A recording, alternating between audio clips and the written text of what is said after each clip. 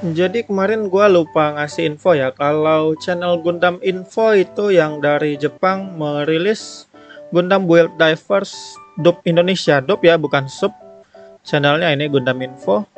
Dan emang beneran dub Indonesia loh. Gue juga ngira awalnya bakal dirilis satu episode per hari ya kan. Ternyata malah dirilis langsung sampai tamat kayak gini. Satu hari langsung plong tamat. Kalau nggak percaya kita dengerin mereka beneran ngada apa mengkontrak atau mengkontak para seiyu Indonesia ya buat mengisikan suaranya. Mana tahu ya kan kalian ada yang suka Gundam di sini apalagi gue Gundam World Diver Rise ini sebenarnya seru sih. Gua lumayan suka nontonnya dan kebetulan ada Dupindonya kayak gini jadi makin asik rasanya.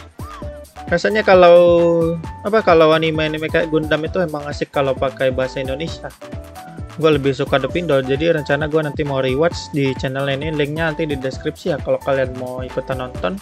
Dan gue masih kaget mereka ngerilis The Pindo di YouTube dan lagi itu langsung full episode kayak gitu. Ya gue ngarep mudah-mudahan sekalian season 2 nya nanti dibikinin The Pindo ya kan sama channel Gundam Info nya ya gue rasa kalau peminatnya rame nanti makin rame yang nonton di channel mereka pasti makin rajin mereka update jadi gue cuma mau infoin itu aja sih buat kalian yang pengen nonton Gundam Build Divers Grup Indonesia bisa ke channel tadi.